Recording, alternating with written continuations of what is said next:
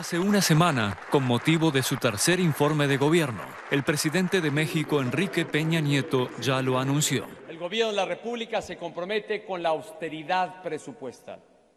Frente al actual entorno económico, aquí lo reitero, al gobierno de la República le toca apretarse el cinturón. Vamos a hacer más con menos. Invertiremos los recursos públicos en lo sustantivo, en lo que sirve mayormente a los mexicanos. Y este martes, el gobierno ha presentado a la Cámara de Diputados el paquete económico para el ejercicio fiscal 2016. El recorte presupuestario será de más de 13 mil millones de dólares en comparación con 2015.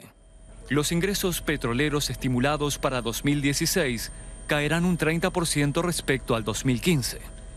La causa es la caída de los precios internacionales del crudo y la reducción de la producción de petróleo y de gas natural. Para el gobierno, el objetivo principal del recorte presupuestario es preservar la estabilidad económica del país.